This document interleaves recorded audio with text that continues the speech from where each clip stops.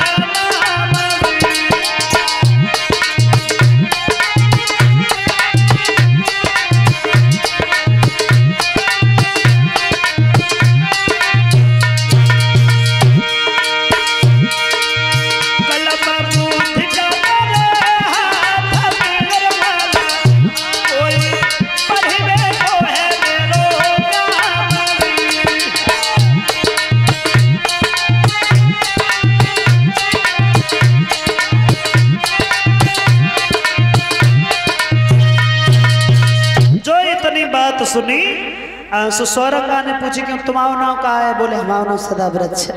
और ये जो लठा कमरिया लाइफ है तो का बात है? बोलिए भैंसा जो आता है। बोलिए अच्छा। मैं पढ़न चले गई मैं घरे चले आए। और ने भैंसे ना है बानी सो कहूँ जाके घेरम बाजी फिर कहूँ बाकी नाना मोड़ा करवाए सोचे से चलो कहाँ गो? बड़ी मुश्किल से सदा वृक्ष मिले। जब आप तो भैंसे क्यों ना बांधे? बोले अच्छा अब पढ़ में जाइयो भैंसे बांधोगे? तो बोले ऐसा करो अब कल से तुम पढ़न दो अब तो वे पढ़न जाता लेकिन पढ़त ना है सारे दिन में बिटरी गाय देखत रात मास्टर लोग बड़े परेशान। सोचता है, हमें लगत से तो जो कुछ होना आ रहा है, सो हो ही गए हाँ अगर इनके बीच में पर्दा लगाई जाए तो जी ज़रूर पड़ी जाएगी सो मास्टर जी की बात सुनी तो बिटरिया कहाँ लगी ऐसा करो पर्दा लगे हमारे घर है धरी सो मंगाए लो। बीच में जब पर्दा लगाई गई, और जब लड़की ना देख पाई बस सदा वृक्ष ने तो बड़ो दुखी भाव। लाला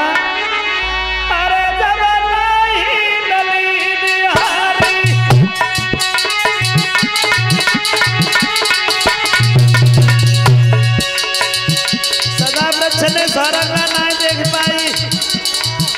परेशान हो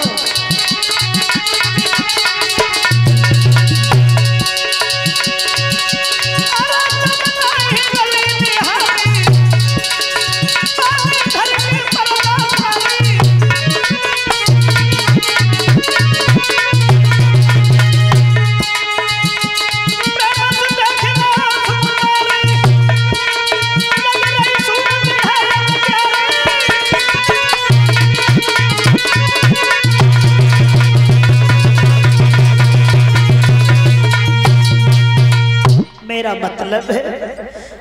और जैसे ही बत पर्दा के पास पहुँच गए सो ये कोई छोटो सा सूरा बाई में है के आँखें लगाए लाई, और डार डार मरिया उन्हें छेद, बड़ो लो दोनों हाथ डार के, और पर्दा फाड़ दई और देख लगे, मास्टर बड़े परेशान हमें लगे थे, जो कचो जो कचो होना आ रहे सो हुई अब छोड़ो